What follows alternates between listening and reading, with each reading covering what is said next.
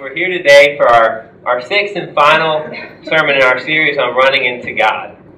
And, you know, to be honest, I kind of feel like that teacher on the last day of class before uh, before the big exam. So I want to do a little run through. But we scared them over at traditional worship. We told them there would be a test at the end, and they all got really scared. And especially when we told 11 o'clock that 8:45 service hadn't really passed.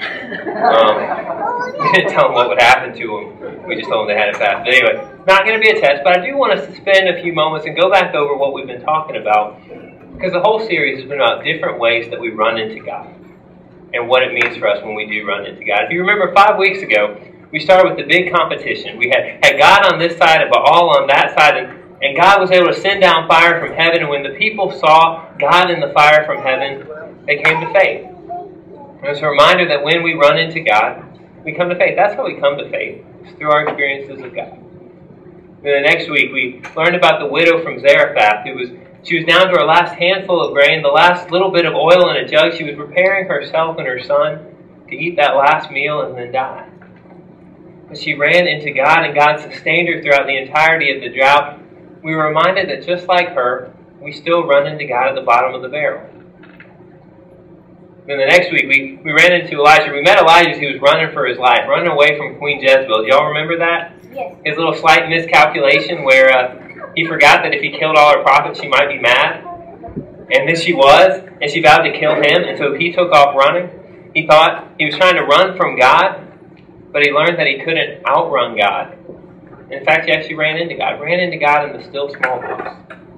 It's that reminder that when we get overwhelmed, when we feel like it all depends upon us, we need to step back. We need to take some time to be quiet, to be still, to know that the Lord is God, and to know that God's still raising up people to walk alongside us. And then we followed Elijah, followed Elijah as he was strengthened by that encounter with God, and he went back to Israel. And God called him to stand up to King Ahab. If you remember King Ahab, he was the worst king ever. And the prophet was supposed to stand up to him for because King Ahab had, had killed Naboth and stolen his vineyard. And it was a reminder that when we run into God, when we're strengthened by God, we're, we're called to go back about God's work. Because God's business is our business, and that's God's justice and God's righteousness, standing up for those things in the political arena, in the social arena, in the economic arena. And then last week we saw that transfer of power from Elijah to Elisha, a reminder. And remember, Bear got so tongue tied Elijah, Elisha, Elisha, Elijah. Unfortunately, today I just have to deal with Elisha, but if I say Elijah, just know I'm in Elisha because they trip us up. But we had that transfer of power from Elijah to Elisha. And in it, we were called to remember our mentors. Who are those people who taught us the faith? Or who are those people we are mentoring? Who are we teaching the faith?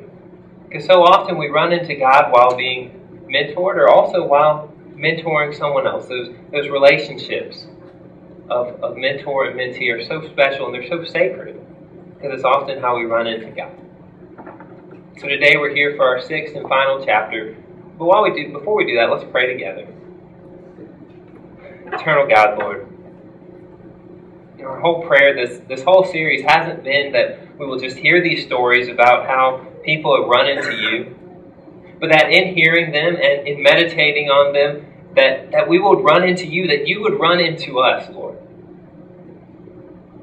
Lord, now move in this place. But we know that you've already met so many of us in the singing here. Continue to meet us as we were here and re- reflect on your word. And then as we come to the table, Lord, meet us here today. Let us run into you. Amen. Our last story in this series comes from 2 Kings. It comes from the fifth chapter of 2 Kings, and it's about Naaman. Now, Naaman is the commander of the army of Aram. And one of the things we haven't really talked about, but is going on in the background of all the stories we, we've been reading, is that Israel, the nation of Israel, is in a series of wars with the nation of Aram. And at least recently, they haven't been doing all that well. You know, it was actually in a battle with Aram that Ahab, the worst king ever, who we've talked about before, was actually in a battle with Aram that he was killed. That happened shortly before um, before our story today. And it's very likely that Naaman was the commander in the attack in which King Ahab was killed. He's kind of Israel's public enemy number one. He's probably the person that the little Israelite kids had nightmares about. You know, he, he's just their chief enemy, their number one enemy, but the story is about him, this commander of the army of Aram. The Bible says he was a great man and in high favor with his master, because by him the Lord had given victory to Aram. The man, though a mighty warrior, suffered from leprosy. Now the Arameans, on one of their raids, had taken a young girl captive from the land of Israel, and she served Naaman's wife. She said to her mister, her mistress, If only my Lord were with the prophet who is in Samaria, he would cure him of his leprosy. So Naaman went in and told his Lord just what the girl from the land of Israel had said. And the king of Aram said, Go then, and I will send along a letter to the king of Israel. He went, taking with him ten talents of silver, six thousand shekels of gold, and ten sets of garments. He brought the letter to the king of Israel, which read, When this letter reaches you, know that I have sent to you my servant Naaman that you may cure him of his leprosy. But when the king of Israel read the letter, he tore his clothes and said, Am I God to give death or life? And that this man sends word to me to cure a man of his leprosy? Just look and see how he's trying to pick a quarrel with me. And what's going on here is the king of Israel, at this point is Jehoram, is one of Ahab's sons. He's not as bad as Ahab, because Ahab was the worst king ever. But he's not really good either. The Bible says that he still did evil in the sight of the Lord. And we'll get back to that in, in just a little bit. But the point is, he gets this letter from the king of Aram, and what he thinks is going on is that the king of Aram has sent Naaman to ask an impossible request, so that when he, as the king of Israel, can't grant the request, Aram can be insulted, so that they then have reason to launch another attack. He just lost out of the battle. Now he thinks they're trying to pick another fight, and he tears his clothes, which is a biblical sign of mourning, of, of not knowing what to do. But then, as God so often does in the series, God shows up, and He shows up in the prophet Elisha. The Bible continues When Elisha, the man of God, heard that the king of Israel had torn his clothes, he sent a message to the king Why have you torn your clothes? Let him come to me that he may learn that there is a prophet in Israel. So Naaman came with his horses and chariots and halted at the entrance of Elisha's house. Elisha sent a messenger to him, saying, Go, Wash in the Jordan seven times, and your flesh shall be restored, and you shall be clean. But Naaman became angry and went away, saying, I thought that for me he would surely come out. Come out and stand and call on the name of the Lord his God, and he would wave his hand over the spot and cure the leprosy. Are not Abana and Pharpar, the rivers of Damascus, better than all the waters of Israel? Can I not wash in them and be clean? He turned and went away in a rage. But his servants approached and said to him, Father, if the prophet had commanded you to do something difficult, would you not have done it? How much more when all he said to you was, Wash and be clean? So he went down, immersed himself seven times in the Jordan, according to the word of the man of God. His flesh was restored like the flesh of a young boy, and he was clean. Then he returned to the man of God, he and all his company. He came and stood before him and said, now I know. How many times have we heard that in the series? Now I know that there is no God in all the earth except in Israel. Please accept a present from your servant. But if we were to go on, we'd see that Elijah won't take anything from the healing.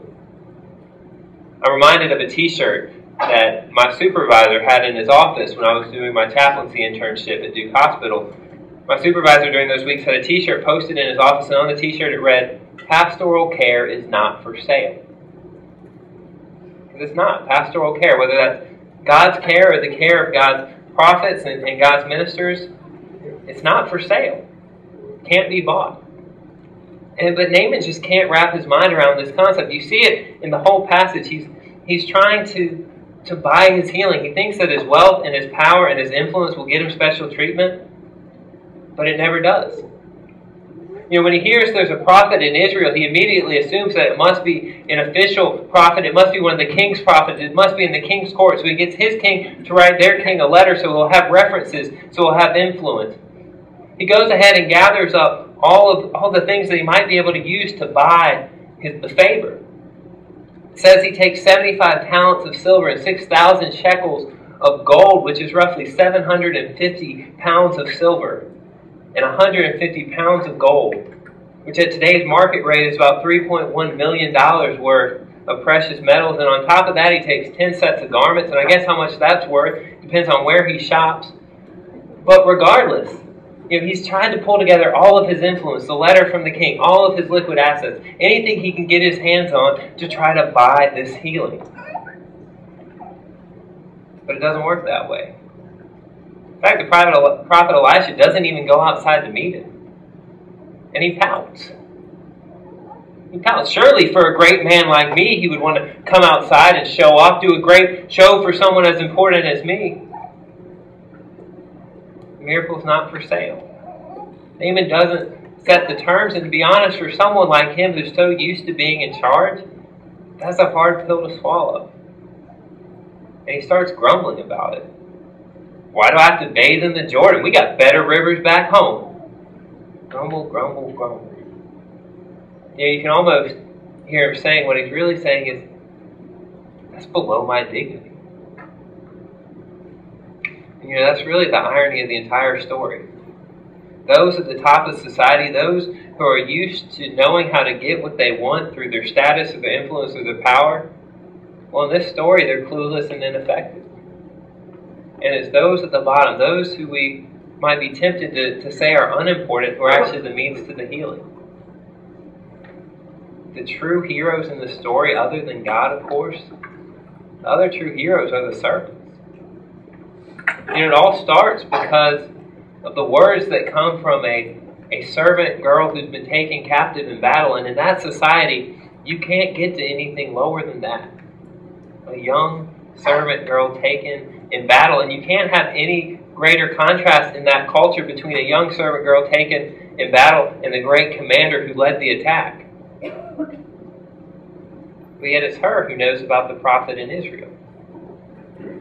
But Naaman doesn't get it. He just thinks it must be a, a royal prophet. So he goes to his king and that king, but neither of them know what's going on. The king of Israel doesn't pick up what's going on which means he wasn't doing what he was supposed to be doing.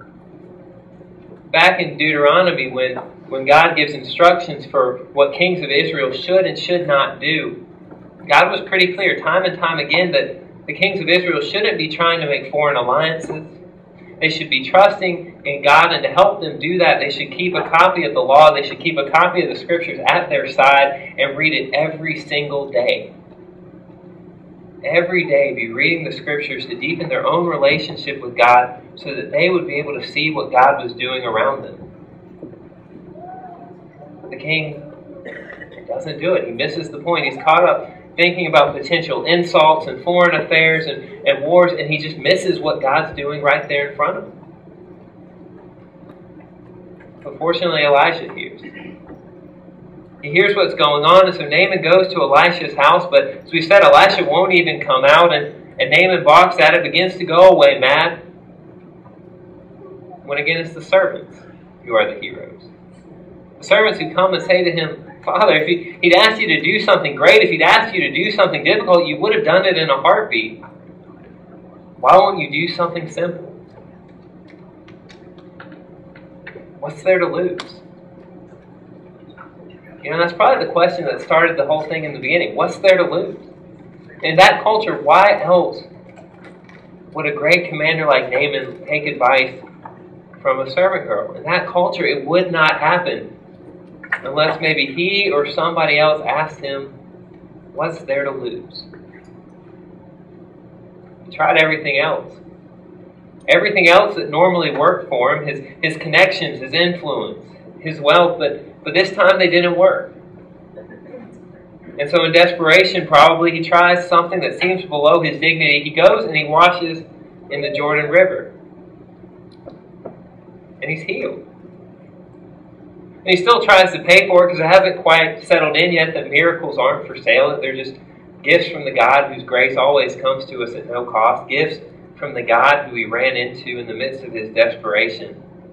It hasn't quite fully set in yet. But still, like so many of us, so many times in the series, when Naaman runs into God, he comes to faith. But it's ironic, isn't it, that it's, it's this great commander who's so blind, while it's those who we would normally just skip over as being unimportant, those who aren't even named in the story. They have no names, the servant girl Naaman's servant. Yet they're the ones who know what's going on the whole time. It's ironic. And, and it drives home the point of the story, which, in the words of one of the commentators who I read this week, is that material disadvantage is not spiritual disadvantage.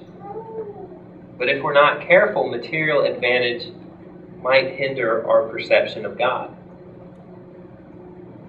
Now, this is a lesson I learned a few summers ago when I was interning at a church in Charlotte. One day we went out and we took a tour of all the different ministries all over the city that help the poor. And when we got to the Urban Ministry Center, their homeless choir was singing. They were singing a song that was very popular that summer. It was a song entitled God is Good. And the lyrics of the song include these lines God, my God, God is good. He put food on my table, then He put shoes on my feet so He could guide my every footstep. He healed my every sickness with no money in my pocket. He made a way out of no way. God, my God, God is good. Now, at that point in my life, I just finished my first year of seminary, and I knew just enough theology to get myself in trouble. And so I remember thinking to myself, how can you sing that? How can that be your theology. You, of all people, you, the poorest of the poor, who know what it is to have no food, who know what it is to be barefoot. How can your faith be in the God who might put shoes on your feet? How can your faith depend on the food that you may or may not have at your next meal? Where is that God going to be the next time you skip a meal? How can that be your faith? You know, it took me a long time to realize that that's not what they were meaning when they sang that song. They weren't proclaiming that God is good because of what God has given. Not that God is good because of the food they may or may not have. Rather, because at some point in their life they had run into God. Because at some point they had run into God, they knew deep down in their souls that God is good. Because of that, they would thank God for every little thing they have something that, you know, frankly, if I'm going to be honest, I don't always do. I've always had shoes, we've always had food, never been hungry. I don't always remember to stop and thank God for each and every little thing. Material advantage, if we're not careful, can be a spiritual disadvantage.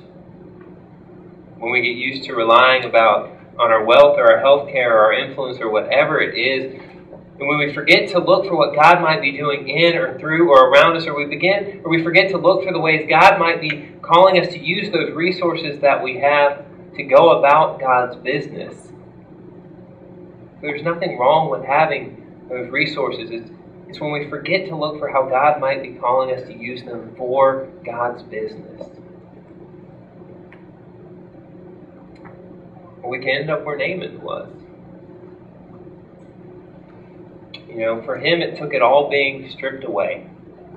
For Naaman, it took everything that used to work, everything that he used to rely upon being stripped away, all of that stuff no longer working. It took that to bring him back to God. But you know, it doesn't have to take that. It doesn't need to go that far. You see, the good news of our passage is this. If you're feeling desperate this morning, if you're in a place this morning where everything that you're used to relying upon no longer works, the good news of our scripture is that God meets us when we're desperate. We still run into God when everything else has failed us. But you know, the challenge of our passage is similar the challenge of the passage is that if we are relying on things other than God and they're still working, whether that's wealth, privilege, whatever it might be, whatever we might call it, if we're still relying on those things other than God, the challenge is to turn those things over for God to use. Because the day is going to come when those things no longer satisfy or when those things are not enough. And it happens happened to Naaman, it happens to all of us at different times or in different ways. But how much better when that time comes? when the things that we're used to relying upon are not enough, how much better if we've already learned to rely on God? Let's pray together. Eternal God, there are so many things that, we are tempted to try to rely on other than you. And, and sometimes they work, Lord, and, and sometimes they don't. Lord, as we've said so many times in this series, we come with one hope. This whole series to run into you. Lord, for Naaman, it took all of those things to fail. Lord, may it not be so with us. Help us to learn how to rely upon you, to trust in you, to find our strength in you, a strength that doesn't disappoint. But Lord, that's the strength that we come seeking today. As we come to this table in a few minutes today, Lord, we pray that as we, we meet you in these gifts of bread and wine, Lord, that those who are desperate might find comfort. Those who are desperate might find peace and courage and strength to face this day. And Lord, for all of us, as we come and are met by you, may we be, be strengthened by you in this meal to put our trust in you, to offer what we have up to you to give them to you, for you to do with them what you will, for the sake of your business, for the sake of your kingdom. Amen.